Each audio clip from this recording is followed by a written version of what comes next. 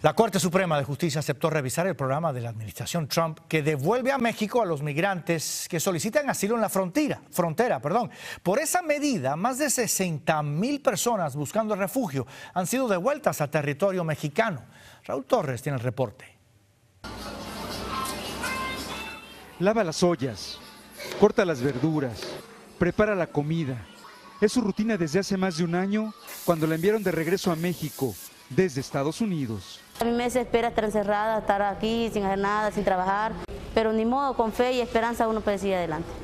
Vanessa vive en un albergue en Tijuana, Baja California. Solicitó asilo en Estados Unidos. Dice que en Honduras corre peligro.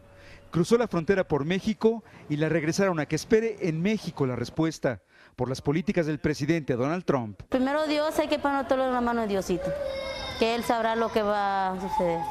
Pero la Suprema Corte de Estados Unidos revisará el programa que envía de regreso a México a migrantes que solicitan asilo, luego de que el gobierno del presidente Trump apeló la suspensión ordenada por una corte en California han dictaminado que estuvo mal el presidente Trump en sus decisiones, tanto el muro como el remain in place para personas buscando asilo. Desde enero de 2019, más de 60 mil migrantes fueron devueltos a México, la mayoría centroamericanos. Sin embargo, por la pandemia y por denuncias sobre las condiciones de vida de los migrantes en la frontera, suspendieron el regreso. Donde están vulnerables a, secuestro, a violación, a amenazas. Algunos dicen que la resolución de la Suprema Corte es como una ruleta rusa, puede ser a favor o en contra.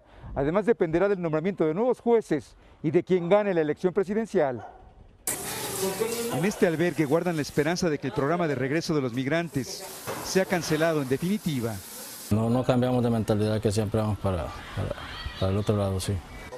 Dicen que solo quieren un futuro mejor. En México, Raúl Torres, Noticias Telemundo.